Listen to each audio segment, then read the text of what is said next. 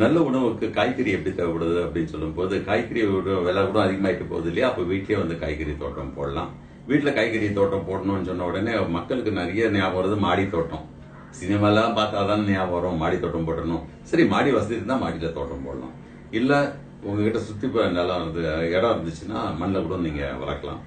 எந்த ஒரு தோட்டம் போட்டாலும் முடிஞ்ச அளவுக்கு வந்து கீழே இருக்கிற த தரையோட கொஞ்சம் மேலே தூக்கி வச்சு நீங்கள் தோட்டம் போட்டிங்கன்னா ரொம்ப நல்லாயிருக்கும் தரையிலேயே வந்து மண் இருக்கும்போது அதிலே தோண்டி கூட வைக்கலாம் ஒன்றும் பிரச்சனை கிடையாது. பட் uh, நல்லபடியாக உங்களுக்கு வளரணும்னா மண் கொஞ்சம் லூஸாக இருக்கணும். அப்போ தான் வேர்லாம் உள்ளார போகும். அப்போ இந்த மண்ணை வந்து தோண்டி எடுத்து கொஞ்சம் மேடு மாதிரி போட்டு அந்த மேடு பாத்தி மாதிரி போட்டுட்டு அதில் வந்து நீங்கள் செடி வளர்க்கலாம்.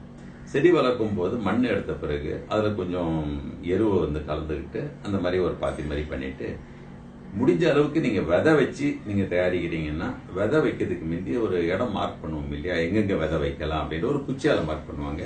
நீங்க குச்சி உபயோகிக்காதீங்க. கொஞ்சம் சாம்பல் எடுத்துக்கங்க. சாம்பல் இல்லைங்கிறீங்களா? வரட்டி கடையில் கிடைக்குது. ஒரு வரட்டி கொண்டு வந்து கொளுத்து விட்டா சாம்பல் ஆகிடும் இப்போ அந்த சாம்பலை கொண்டு வந்து சாம்பலுடைய பொட்டுக்கு வச்சுக்கோங்க. எங்கெங்க வைக்க போறீங்கன்ட்டு. அப்போ அந்த சாம்பலில் தேவையான எல்லா விதமான நியூட்ரியன்ஸ் இந்த பொட்டாசியம் கால்சியம் அதெல்லாம் நிறைய இருக்குது சாம்பலில். அதெல்லாம் அங்கே இருக்கும். விதையை அது மேலே வச்சு அப்படியே அழுத்தி விட்டுருங்க உள்ளார அழுத்தி விடும்போது நார்மலாகவே விதையுடைய சைஸ் உங்களுக்கு பார்த்தோம் தெரியும்? இப்போ சின்ன விதையாக இருக்கும் பெரிய விதையாக இருக்கும்.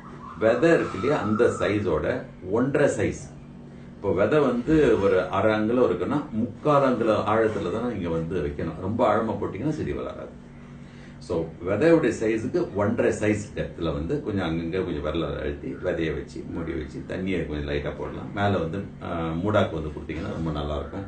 ஏன்னா களை வர வளராது. களை வளர்ந்தாலும் கையை பிச்சு போடலாம் ஒன்றும் பிரச்சனை கிடையாதுங்க. மூடாக்குன்னா இந்த ஆர்கானிக் மேட்டர் இந்த இலை சருகுகள் எல்லாம் விழுது இல்லைன்னா இந்த தென்னை நார் இதெல்லாம் மேலே போட்டு விட்டிங்கன்னா தண்ணியை வந்து பிடிச்சு வைக்கும். அதே நேரத்தில் வந்து நுண்ணுயிர் அதிகமாக வளரும். ஏன்னா நுண்ணுயிர் வந்து வானம் பார்த்த பூமியில் வளராது பாருங்க. இந்த மூடாக்குன்ற போது இந்த இலை சருகு எல்லாம் போடுறோம். அப்போ இந்த சருகுக்கும் மண்ணுக்கு நடுவில் வந்து நிறைய அப்படியே மக்கி போகிறதுக்கு நிறைய நுண்ணுயிரெல்லாம் வளரும். மண்ணுக்கு தேவையான நைட்ரோஜன் பாஸ்பேட் பொட்டாஷ் இதை மல்ச்சிங் அப்படின்னுவாங்க. ஆங்கிலத்தில் வந்து மல்ச்சிங் அப்படின்னு சொல்லுவாங்க. மல்ச்சிங் பண்ணீங்கன்னா எப்போதுமே நல்லா இருக்கும். ரைட் பண்ண பிறகு வந்து ஒன்ஸ் இந்த நீங்கள் தண்ணி எல்லாம் அதில் ஊற்றலாம்